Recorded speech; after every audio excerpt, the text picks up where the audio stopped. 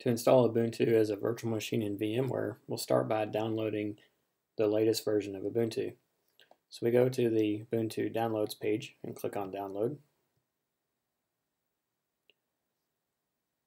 And then we can wait for the download to start, or there's a small link here that you can click to start the download manually. I've already downloaded the image for speed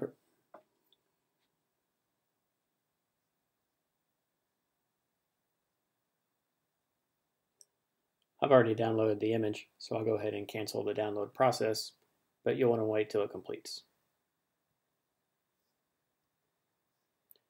Now I'm going to start up VMware.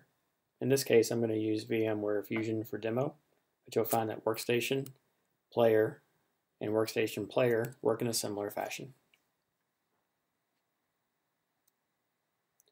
We're going to start by clicking File and New. And then we're going to say install from a disk or an image. This is usually the default option. We'll click on use another disk or image, go to our downloads directory, and click on the ISO that we downloaded. Hit continue,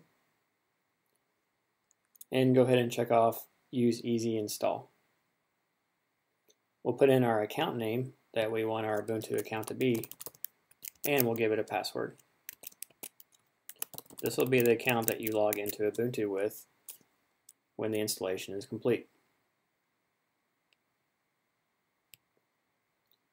Hit continue and customize settings. We can change the name and the location where the disk is going to be stored.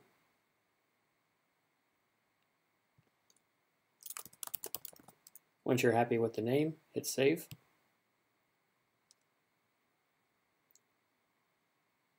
Now we can go ahead and change the settings. First, I'm going to set up sharing.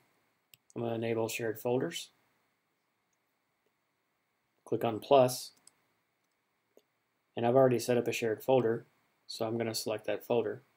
If you're not familiar with shared folders, this is a folder on your host operating system, the real operating system, that's accessible to both the host operating system and the guest. The guest in this case is Ubuntu. Also, I'm going to click on processors and give it two processors and double the memory. Be careful that you don't overtax the host machine, that you have plenty of resources and capacity left over for that machine when you're done. You can run on one processor and a gig of memory if you're constrained. Under display, depending on what kind of operating system you have, you may want to go ahead and give some more graphics memory if you have enough space to do so because Ubuntu has a pretty heavy graphical desktop. And if you don't, that's okay.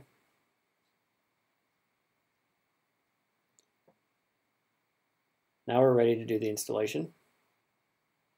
So we'll close the settings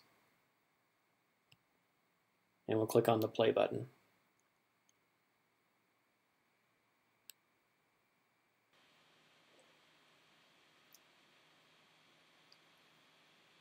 Once the installation process starts, it's going to take a while. Go ahead and let it complete. With the installation complete, we can go ahead and log in. We'll use the password that we chose earlier.